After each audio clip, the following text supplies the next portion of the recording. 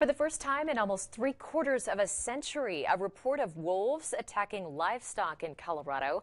The possible cattle kill happened close to Walden near the Wyoming border. The Colorado Cattlemen's Association claims a 500 pound purebred heifer was mauled and eaten by a wolf pack.